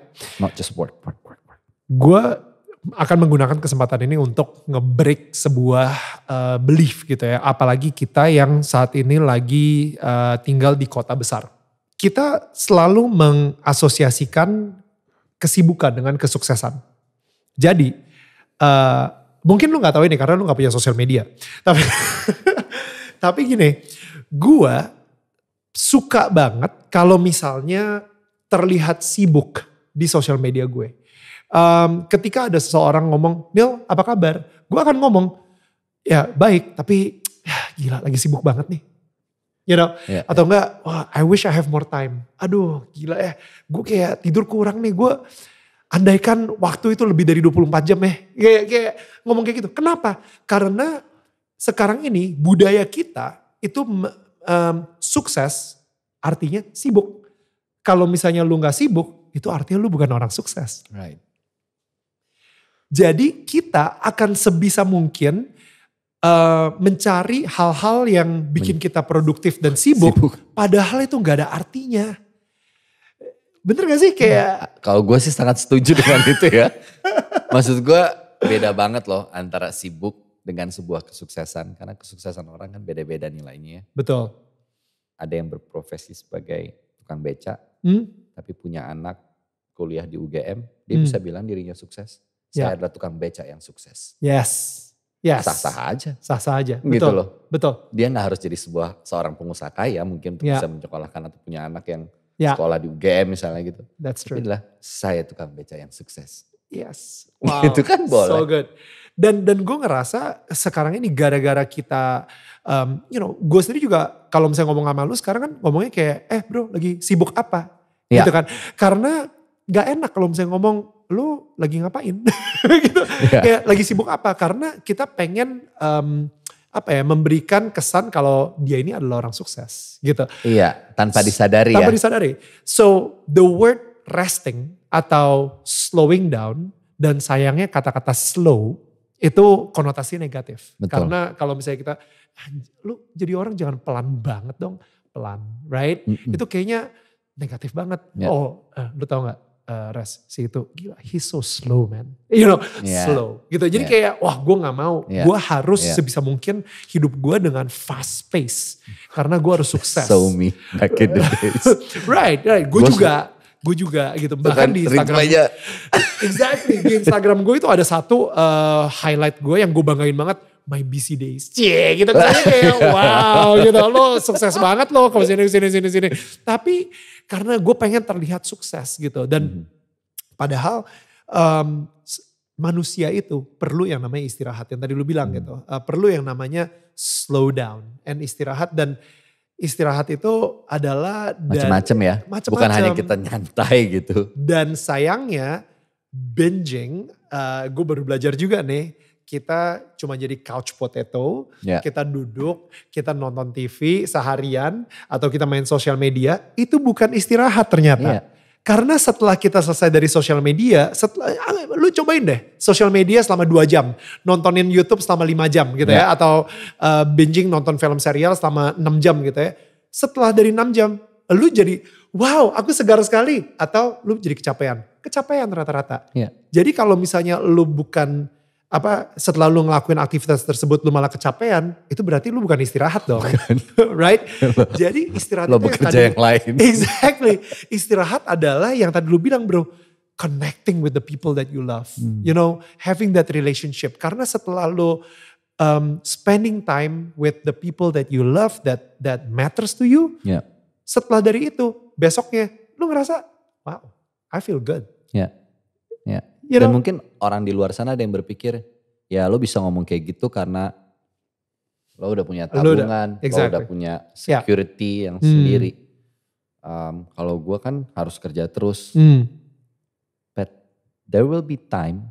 Jangan sampai ketika lo mengejar kerjaan itu dan lo merasa sudah mendapatkan hasil, naluri manusia itu pasti keinginannya kan lebih terus nih. Ya, Oh gue udah achieve ini. when is Wah. enough is enough, There's- right? Ya, gak akan. Nah, gue ya. belajar bahwa hidup cukup Hmm. itu cukup buat gue. Karena cukupnya gue beda dengan orang lain. Misalnya Hmm. contoh, gue pakai mobil A. Hmm. Instead of buying a new car, Hmm. I feel this car is enough for me. Ya, ya, It's a car anyway. that's good. Ya. Udah. Rumah, Hmm. this is enough for me. Hmm. I cannot control a bigger house or any. This is enough. Ya. I think I'm good with this. Hmm. I learn about it a Ya, lot. ada yang bilang gitu ya, when you know enough is enough, then you will feel, you know, then your life is enough. You know, Agree. and you live with enough gitu. Yeah. Maksudnya kayak kayak kayak I think it's so interesting aja gitu karena kalau misalnya kita dan sekarang ini ya social media. Oke, dulu di tahun 70-an kita mungkin ngebandingin hidup kita sama tetangga kita. Yeah. you know, the grass is always greener on the other side. gitu kan. Yeah. Jadi kayak, wah ini tetangga gue punya mobil baru nih. Wah gue juga harus punya gitu. Dia mungkin membandingin Yeah. itu. Sekarang dengan adanya sosial media, kita membandingkan hidup kita dengan Kim Kardashian. Kita membandingkan hidup kita dengan um, selebri- selebriti-selebriti Hollywood gitu. Sehingga gaya hidupnya mereka, kita juga harus bisa kayak gitu. Supaya apa? Supaya kita juga bisa mamerin di sosial media kita. Dan kita mati-matian kerja abis-abisan supaya kita bisa ada di posisi At seperti put that itu. to standard. Exactly. Udah bukan lagi tetangga kita. Kita udah harus sama sama si selebriti yang ada di sosial media ini gitu. Dan itu akan membuat diri lu merasa nggak pernah puas Dan gak Karena- pernah cukup. dan gak pernah cukup Ya. karena si selebriti ini juga di endorse bro. Dia juga kadang-kadang gak kebeli. Iya tapi benar sih maksud gue. Gue agak, I'm not sad about that situation. Tapi gue lebih ke aware aja sih. Hmm, Wow, ya. ini orang ternyata berlomba-lomba Hmm, to show apa yang dipunyai Ya. hanya untuk memenuhi uh, ekspektasi orang untuk melegitimate bahwa dia adalah orang sukses. Ya. Gitu. Ya. Buat gue itu kalau yang nggak kuat mental kasihan sih. If they have to live to that Ooh, standard. That's so good. Ya. It's- Ya. You're torturing yourself in my own perspective. Dan ini menarik banget di mana semua orang punya sosial media tapi lu kayak hmm, no. Makanya gue bisa ngomongin sama lu karena you're like the example gitu ya. Di mana lu gak ketergantungan sama si sosial media ini gitu. Which uh, sekarang ini lu menggunakan Clubhouse pun juga untuk mendengarkan untuk your dan menurut gue ini social media si Clubhouse ini yang lu gunakan bukan untuk broadcasting atau membuat lu lebih terkenal tapi untuk lu mendapatkan emosi-emosi baru supaya lu bisa di kerjaan lu you know sharpening your skill Iya, iya, iya. which is Secara- very valuable you know Iya. emosi yang dulunya lu nggak pernah dapetin tapi lu bisa ngedapetin dari orang yang ngomong ke lu dan lu mendengarkan dan it's good for your next acting gig misalnya seperti Iya, itu kan iya, Iya. iya, iya. Akan mempengaruhi pasti itu menurut betul gue sih. betul Hmm. so uh, kita kita sekarang agak-agak masuk ke um, the part mungkin uh, you know dulu lu adalah seorang Nasrani juga di Iya. mana uh, nyokap lu juga Nasrani gitu ya tapi lu memilih menjadi Muslim Iya. gitu and this is very interesting gue tahu gue tahu banget nggak tahu kenapa ya before we go to that gitu gue for some reason ngerasa lu adalah orang yang spiritual Hmm. You know, lu Ya. adalah seseorang yang yang tadi dan itu ternyata terkonfirm ketika lu bilang lu suka di kamar ngobrol sama Tuhan gitu. Ya. And I think that is itu salah satu bentuk dari spiritual gitu. Lo um, how how like not how spiritual are you? Cuma maksudnya kayak um, apa sih kayak yang membedakan spiritualitas lu dan bagaimana spiritualitas lu itu bisa membuat si Reza Rahadian itu ada sekarang ini gitu. gue Eh, merasa bahwa kekuatan spiritual seseorang atau rasa spiritual seseorang itu itu kan berbeda dengan bagaimana dia menjalankan agamanya gitu ya. Ya. Itu I think it's two different things menurut gue. Hmm. Mungkin gue bisa salah, tapi menurut gue begitu. Jadi gue nggak bisa bilang, oh gue sudah menjalankan ajaran agama gue dengan baik, dengan yang seharusnya Hmm. Sholat yang mungkin bolongnya banyak dan Hmm. lain-lain itu adalah definisi gue ketika gue berbicara tentang agama yang gue yakini dan gue jalani. Hmm. Masih banyak kurangnya deh, Hmm. gue masih harus belajar lebih baik lagi. Tapi di sisi spiritual itu adalah sisi di mana gue meyakini bahwa sepertinya gue boleh kok untuk menjalankan juga sisi lain tentang pola gue berkomunikasi dengan Allah. Ya. Allah, universe, Hmm. Sang pencipta. alam Ya. semesta, sang Ya. pencipta dan lain-lain. Ya. Whatever you name it Ya. gitu. Jadi menurut gue itu letak spiritualitas gue. Hmm. Bagaimana gue menjalani keseharian gue berdasarkan hal tersebut. Hmm. Dan gue jalani itu untuk tidak hanya diri gue tapi dengan orang lain yang gue bersentuhan, bersinggungan dan lain-lain. Hmm. That's how you some kind of practicing your spirituality. Ya. Tapi sebenarnya nilai-nilai agama, karena kan agama mengajarkan semua yang baik. kan? Baik. Betul. So be kind. Ya. Buat gue secara tidak langsung lo juga menjalankan agama lo dengan baik. Ya. And I cannot judge anything about it. Hmm. Gue juga gak bisa ngejudge orang yang, oh dia nih sholatnya gak rajin nih misalnya sesama muslim. Gue gak berani. Ya. Karena I would reflect to myself. Ya. Even gue sudah menjalani sholat gue dengan sempurna pun misalnya. Hmm. Gue gak berani untuk putting a judgment into someone yang sholat lo harus sempurna lagi. Lo bayangin itu gue gak berani Hmm. untuk wilayah itu. That's Ya. why I never talk a lot about religion. Ya. Dan transisi gua bukan karena alasan apa pun selain daripada keyakinan yang memang gua rasa itu dialog gua dengan Tuhan. Hmm. And I don't know how to express that Hmm. clearly. Hmm. Dibesarkan sebagai Nasrani dong. Hmm. Gue dari kecil sekolah minggu. Glenn Fredly adalah salah satu guru sekolah Oh. minggu gua di gereja waktu itu. So I was raised as a Christian. Ya. Dan nilai-nilai itu Hmm. ada di dalam diri gue. Gue sampai SMP sekolahnya GPB Maranatha di Balikpapan. Oke. SMP gue. Tapi begitu gue meyakini keyakinan yang memang kok panggilan gue ke sana Hmm. dan gue yakini gue bersyukur bahwa itu bukan karena alasan apa pun. Hmm. Kerjaan bukan, Hmm. pasangan lebih-lebih lagi bukan gitu atau paksaan dari orang sekitar atau Hmm. orang-orang terdekat yang mungkin Hmm. mengajak gitu. Hmm. Enggak sama sekali. Jadi itu adalah komunikasi gue dengan yang di atas Hmm. dan komunikasi dengan nyokap gue. Hmm. Karena gue komunikasikan itu ke nyokap. Pasti. Mak kayaknya kakak punya. Nyokap gue belum selesai gue ngomong. You know what? Itu hak kamu untuk menentukan keyakinan kamu. Uh. Pesan mama cuma satu. Jalani itu dan yakini itu dengan baik. That's it. Udah gak ada perdebatan, gak ada pertengkaran.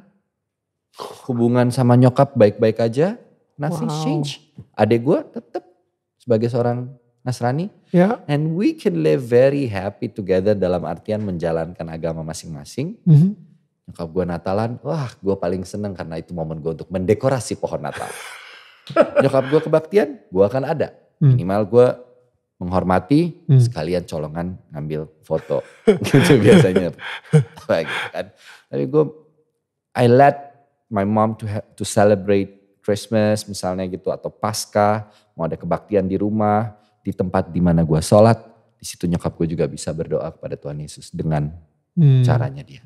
And I think Hmm. that's the beauty of, Ya. you know, So what's the ya tadi tadi pas uh, sebelum kita syuting kita udah sempat ngobrol gitu ya uh, kayaknya gue yakin banget gitu kalau misalnya gue cabut dari Indonesian Idol itu karena you know dialog gue juga dengan Tuhan gitu kan. Nah, ya.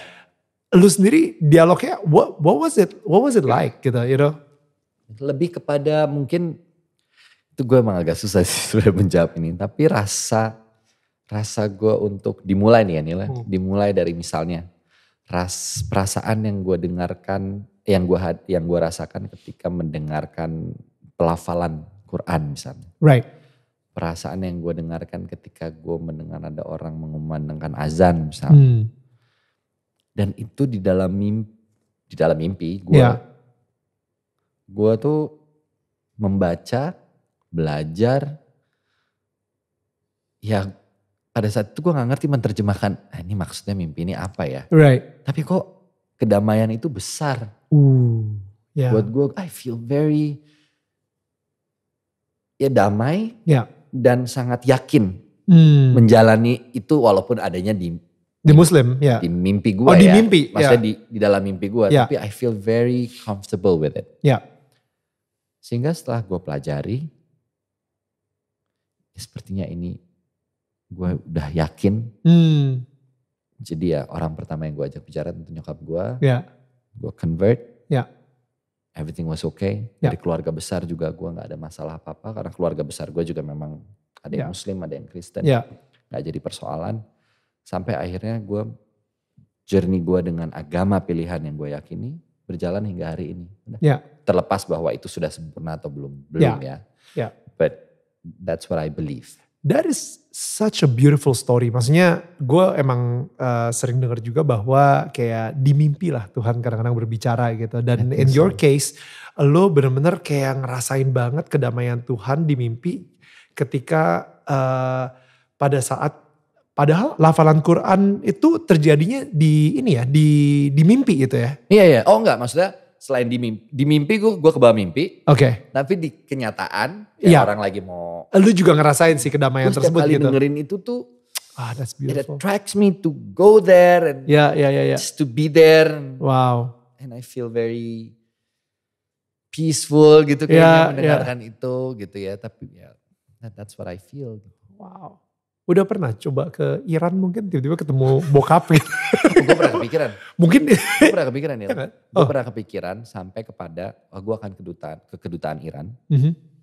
gue gak tahu itu ada apa enggak di Indonesia Eh, tapi setelah gue ada gue mau cari nama ini Hmm. kira-kira masih ada apa enggak minimal gue tahu lah masih hidup atau tidak Hmm. tapi ternyata pas gue iseng-iseng searching apalah segala macam wah nama itu banyak banget Forget it. nama bokap gue itu banyak banget. Dan mukanya hampir sama rata-rata. Oh ya mungkin ini bapak gue. Hmm, mungkin ini. Eh, bukan lagi. Eh, mungkin ini. gue agak bingung. They're all look alike sebenarnya.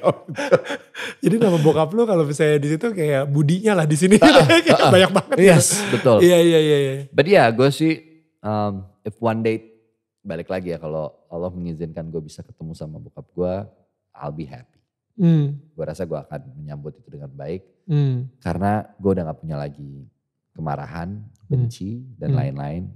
Gue cuma pingin dia tahu aja Hmm. bahwa anaknya baik-baik aja, nyokap gue juga baik-baik aja. That's it. Hmm.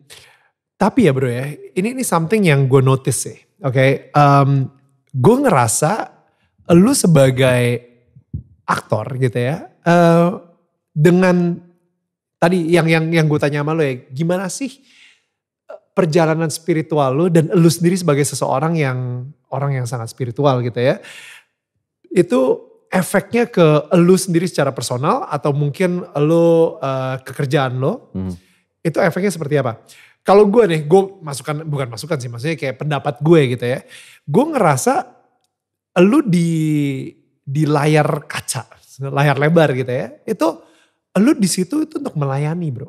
Hmm. Gue bisa nggak tahu mungkin sekarang ini seiringnya waktu gue menjadi dewasa gitu yeah. dan lebih mature gitu yeah. ya gue ngerasa kadang-kadang ada orang yang ada di atas panggung atau di layar lebar untuk mengambil bukan melayani hmm. dia ingin mengambil gitu dari segi kayak I wanna become more famous gue pengen yeah you know, gue pengen uh, spotlightnya di gue, hmm. gue pengen mengambil ketenaran ini sehingga gue menjadi pencuri perhatiannya gitu yeah. kan, which is, ya namanya pencuri aja itu udah ngambil gitu kan, pencuri yeah. perhatian gitu, yeah. mencuri perhatian. Um, and and yet lu gue nggak ngeliat lu ada di situ. Lu di situ benar-benar melayani dengan sepenuh hati lu untuk memberikan performance terbaik, untuk menghibur yeah. you know uh, di setiap acting lu gitu and I think itu ada hubungan sama spiritualitas yang tadi kita ngomongin ini mm -hmm. menurut gue itu tapi itu pendapat gue I yeah. might be wrong mm -hmm. gitu dan ya nggak tahu dari situ dulu deh nanti gue ada lanjutannya lagi yeah. deh kalau dari menurut gue kecenderungan itu sih tinggi sih Nil karena okay. gue selalu bilang ke sutradara gue mm -hmm. ketika gue bekerja mau dia baru mau dia sudah berpengalaman tugas gue salah satunya adalah melayani dia sebagai seorang aktor No, that's what you say. Ya. Every, wow. Kayak kemarin, gue akan ada kerjasama dengan saudara yang um, mungkin baru juga enggak, tapi juga gue baru pertama kali kerjasama. Mm. And I want to make sure ke dia bahwa saya akan kerjakan PR saya. Mm. I just want to serve my director sebaik mungkin. Wow. Gitu. Biarpun sutradaranya sutradara baru gitu misalnya ya. Baru. Ya. Kayak gue kerja sama Ernest waktu itu. Hmm. Ernest bisa dibilang saudara yang ya. mungkin belum Untuk lama ya. gitu. Ya. But I just want to make sure bahwa dia merasa bahwa gue juga sangat menghormati segala keputusan yang dia punya. Wow. Ya. Minimal dia bisa ngerasain bahwa gue juga sebagai aktor lagi serving dia juga hmm. by my hmm. through my performance. Ya. So makanya gue nggak pernah terlalu banyak berpikir soal stealing the spotlight and everything. Mm. I don't really think about it. I just wanna play. Mm. Apalagi kalau karakter itu merepresentasikan orang di luar sana yang mungkin punya kehidupan yang sama. I just wanna be real, mm. as believable as possible, supaya orang bisa relate-nya gampang. Wow. Sebenarnya gitu aja sih kalau menurut gue ya. Hmm, hmm. Itu yang gue coba jalankan gitu. Dan itu buah dari spiritualitas lu bro. Jadi maksud gue uh, ya obviously ya kayak kadang-kadang nih banyak orang di luar sana yang bilang oh ya gue juga kok sama hubungan sama Tuhan dan lain-lain dan lain-lain hmm. gitu ya. Intim sama Tuhan. Hmm. Tapi kadang-kadang kalau kita ajak ngobrol gitu ya kok kayaknya masih buahnya ini pahit ya. Hmm. Ngerti hmm. hmm. Tapi yang kita dengar dari seorang Reza Rahadian gitu ya, buahnya ini manis dari segi yaitu lu benar-benar dengan hati melayani. Bahkan kadang-kadang ketika ada aktor baru yang ngerasa terintimidasi sama lu gitu, um, yang gue dengar adalah lu justru care banget sama si aktor ini untuk either dianya harus naik di yeah. level lu dan lu benar-benar mentoring dia, literally mentoring mm -hmm. dia supaya mm -hmm. dia bisa ada di level lu atau lu kadang-kadang malah bersedia gitu supaya bisa ke levelnya dia gitu yeah, misalnya. Yeah. And I think itu melayani banget sih men. Lu benar-benar udah secure banget untuk melayani si aktor tersebut atau sutradara ya. tersebut yeah. gitu. Gua merasa memang I'm I feel I'm a very secure person. Mm. Terutama di saat sekarang ya. Gue gak mm. dulu sih mungkin berbeda. Tapi yeah. semakin ke sini gue merasa secure. Sehingga gue gak terlalu punya keinginan untuk merasa intimidated by the younger actor and everything yeah, segala yeah, yeah. macam atau merasa bahwa ah ntar dia bakal steal spotlight kalau gue yeah. satu film gue nggak mau satu film sama dia karena wow. dia peran utamanya misalnya gitu. hmm. gitu. Jadi gue justru membuktikan itu dengan cara ya siapa pun yang mau jadi lead actornya, kalau gue dipercayanya sebagai supporting part, I would do my best wow. to support, to give my best aja. Dan gue pingin semuanya ya kalau bisa bagus, ya bagus gitu. Wow. Dan gue paling seneng ngobrol sama aktor-aktor muda to just share something kalau mereka mau. Hmm. Tapi gue bukan orang yang gue akan datang dan hmm. you know what gitu gue nggak karena gue nggak tahu apakah mereka mau gue begitu atau tidak. Gue takutnya malah nanti kesannya jadi menggurui. Ya. Dan gue nggak kalau di lokasi gue nggak boleh menabrak wilayah itu karena itu wilayahnya sutradara ya. Ya. Jadi kalau mereka bertanya, I would completely just. Ya. Oh wow. Gitu. Tapi kalau mereka udah jaga jarak juga, ya gue juga akan oke, okay, gue Hmm. hargai itu gitu. How- Itu aja sih. Kenapa sih? Kok kok bisa gitu? Like dari lu misalnya dulu misalnya lu sempet lah insecure gitu ya. Eh, banget. tapi akhirnya jadi secure dan justru lu mempunyai hati melayani tersebut gitu. Like why? Mungkin pertemuan gue sama Bu Christine kali ya mengubah banyak hal ya. Oke. Because I became very close to her. Very, Hmm. very, very close. Joe juga tau lah soal itu gitu ya. Gue Hmm. banyak share sama dia juga. Gue jadi sangat-sangat dekat sama ibu. Dan dia selalu bilang, ibu itu cuma pelayan nah di industri film. Dia selalu bilang seperti itu. I'm a servant. Se- Seorang Christine Mau Hakim. bayangin gak seorang Kristen Hakim bilang kayak gitu. Gue sampai, oh. Gue seorang pelayan. I'm a servant I'm a in this servant. industry. I'm a servant in this industry. I serve the people throughout my performance. Hmm, I serve the director hmm. dan orang yang bekerja di lapangan juga secara nggak langsung. Wow. Gimana nih? Gue mau ngomong apa? Gue pasti punya friksi-friksi lah ya sama produser kadang-kadang Normal. keributan bisa aja terjadi Sure. dan segala macam. Tapi gue bersyukur bahwa di saat sekarang gue tuh bisa cepat realize tentang sesuatu. Gue nggak malu untuk ketika nggak kayaknya gue salah. Hmm. Gue kan directly, you know what? I'm sorry. Wow. I think I did the wrong thing back then.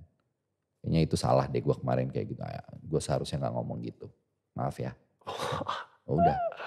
Ya dimaafkan atau tidaknya itu kembali ke orangnya. Iya, iya. Tapi gue bukan orang yang Lu punya mempunyai kerendahan hati yang cukup untuk bisa berani ngomong minta maaf. Padahal lu mempunyai ya gua kan aktor FFI you know, dan pemenang FFI bla bla bla gitu. No, actually begitu gue resapi lagi. Kalau gue emosi, gue keluar marah. Setelah gue sadari itu secara cepat ya. Enggak harusnya tadi nggak gitu responnya. Udah Hmm. gue samperin gue atau gue ngomong gitu. Maaf ya hmm, Pak, Bu, siapa pun. hmm, hmm. saya tadi nggak kontrol gini gini gini. I'm sorry. That's hard, man.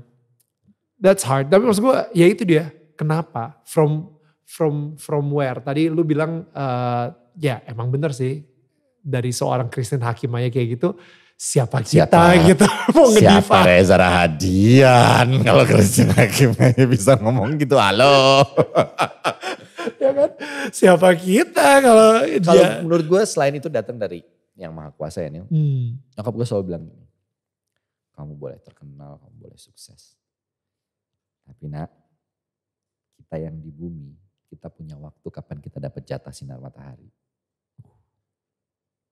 Kamu gak akan selalu dapat sinarnya. uff.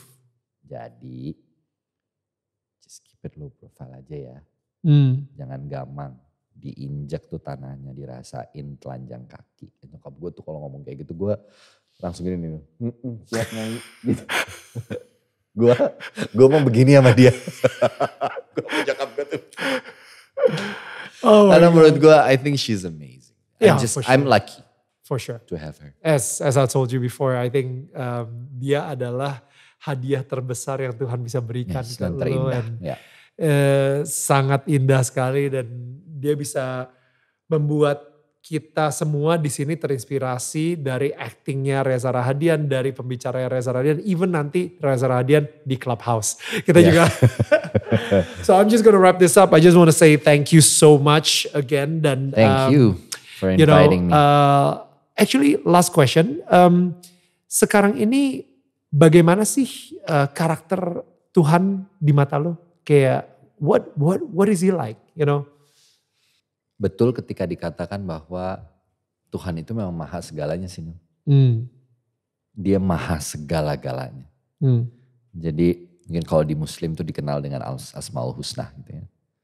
Dan gue semakin meyakini itu karena apa? Karena sebagai manusia dosa gue banyak banget. Tapi di tengah dosa-dosa itu, gue juga nggak, gue bisa menampik pendapat yang bilang bahwa oh kalau dosa lo dosa ini dosa itu wah abis lo ntar gini gini gini. Hmm. Tapi Tuhan masih bisa kasih kesempatan untuk sayang dia bisa menunjukkan itu sama gue tuh menurut gue Ya. itu yang luar biasa sih. Dan Ya. itu bentuknya menurut gue, bentuk nyatanya ya. Dia Hmm. masih, tangannya tuh masih mau menyentuh dan menurut gue itu karena dia maha segalanya.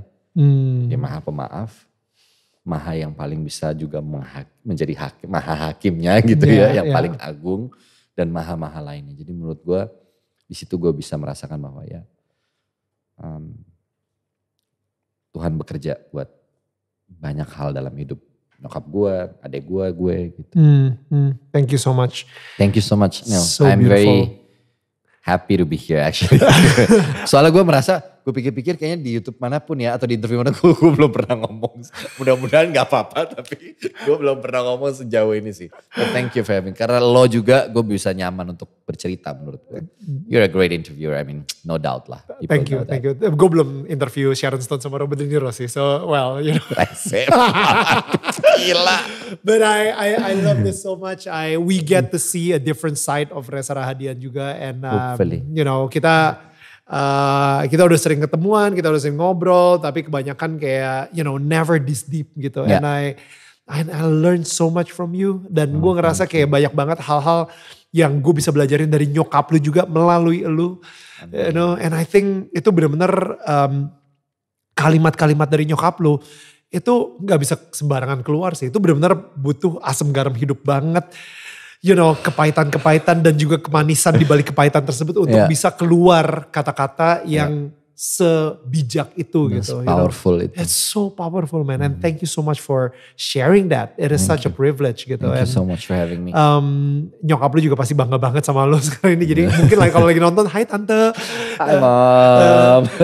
Gue ada lo nomornya tante gitu kan. oh iya benar. Oh iya benar lo ada. Gue nelp, gue kayak eh, Res, gue mau ngundang lu ke Daniel tetangga kamu. Uh, abis itu tiba-tiba yang nge gue bales gitu ya nyokapnya Reza gitu. Hai ini mamanya Reza, dia udah gak megang nomor ini lagi. Oh tante kabarin ya. Kalau tante yang eh, suruh Reza mungkin dia mau tante.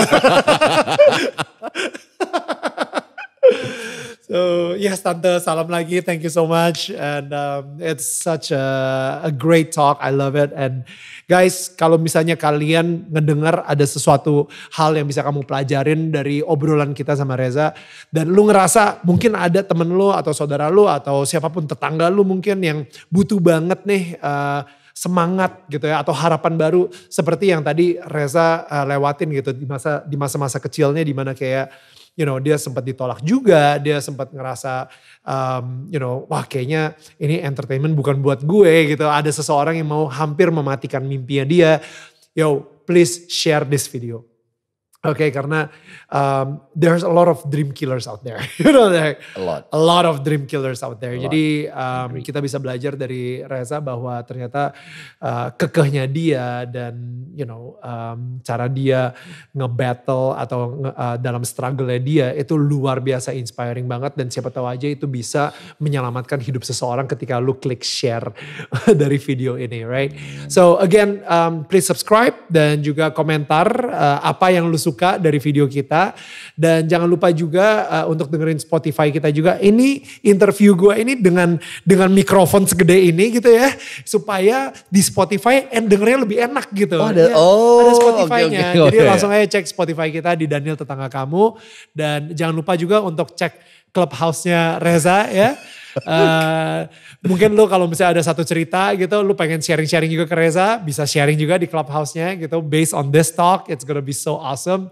And uh, kita akan ketemu lagi minggu depan dengan tetangga kita yang pastinya nggak kalah seru juga. Kalau misalnya pengen tahu siapa, well cek uh, dan follow di Instagram kita at Daniel Mananta Network. Guys, thank you so much.